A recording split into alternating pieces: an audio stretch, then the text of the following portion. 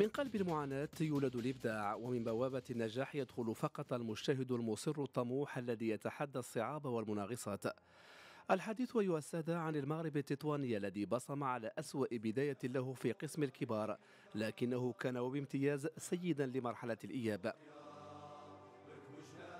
فبعد انطلاقة خاطئة غير مسبوقة تميزت بتغييرات متكررة في الجهاز الفني بوضع الثقة في المدرب فؤاد الصحابي أولا ثم التخلي عنه قبل بداية البطولة وتسليم المشعل الجزائري عبد الحق بالشيخة الذي لم يطل المقام هو الآخر بعدما أخفق في وضع قطار الفريق على سكته الصحيحة. هزيمة تلو الأخرى والفريق يقبع في المركز الأخير في مشهد غير مسبوق لنادي الحمامة البيضاء منذ صعوده لدور الأضواء. فكان الطلاق هو القرار الذي اقتنع به المكتب المسير وأيضا المدرب الجزائري. الاسم الثالث الذي قاد أبناء تطوان كان المدرب يوسف فرتوت الذي حط الرحال بملعب لاي بيكا بعد الكثير من القيل والقال. رغم التغيير النتائج لم تكن في مستوى طموحات المكتب المسير الذي لم يصبر كثيرا على فرتوت.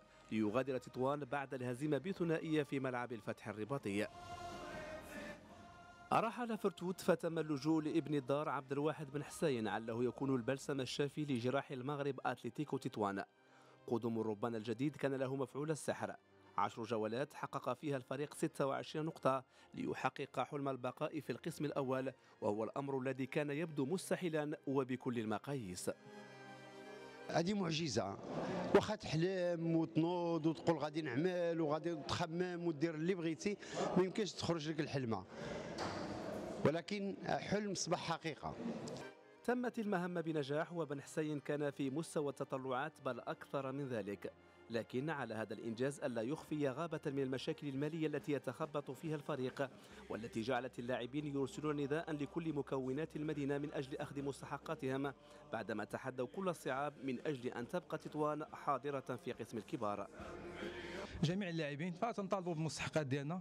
الحاجة اللي اللي ما قدرناش أننا نوقفوا عليها في وقت في وقت ديال المباريات. فكنجدوا جميع الناس ديال المدينة جميع المسؤولين ديال المدينة خصوصا الفريق المغرب التطواني ماشي ديال اللعابة بوحدهم ولا ديال الجمهور ولا ديال الناس المسيرين.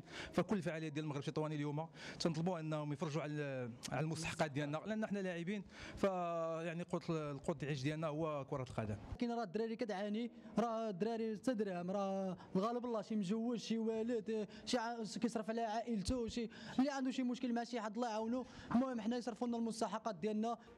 حقيقة أن الإصرار والطموح يوصلني لبار الأمان لكن دون سيولة مالية كافية في المستقبل فالمات قد يكون مستقبله غامضا خاصة إذا لم تتم تسوية الوضعية المالية للاعبين سريعا. إذ من المحتمل أن نرى الفريق يفقد أبرز أسمائه وبالتالي قد يعود من جديد للنضال من أجل البقاء في القسم الأول وهو الذي تعود المنافسة على منصات التتويج على الأقل في عهد الاحتراف.